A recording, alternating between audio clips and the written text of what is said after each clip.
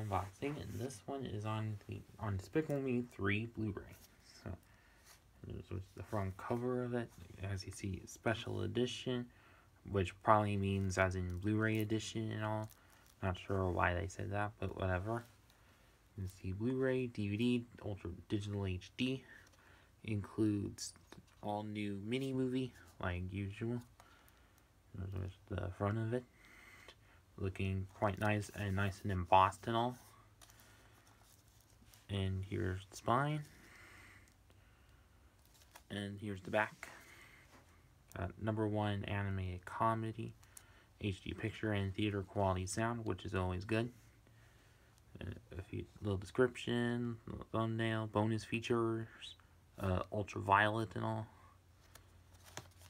And take a look at the actual Blu-ray case just about the same as the slip cover. And so now let's go ahead and open this up.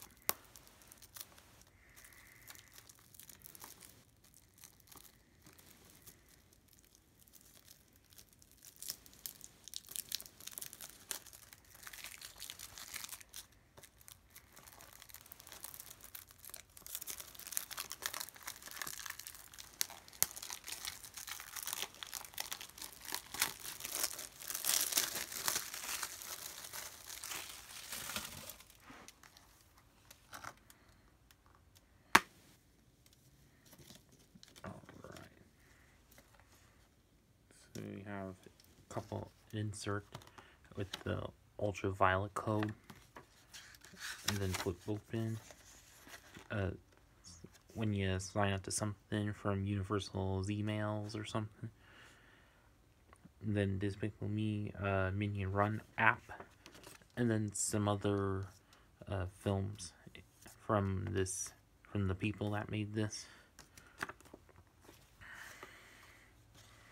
And here's the discs. Hmm. so there's the Blu-ray, and here's the DVD. I kind of at first thought this was the Blu-ray because of the blue color, but whatever, it's kind of flip-flop when, if like compared it to the other releases of Despicable Me, these first two, like these first one is blue color, and orange DVDs and all.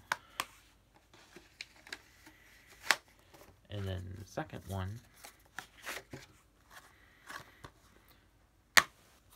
also blue color DVD and or also, or orange DVD and blue colored Blu-ray.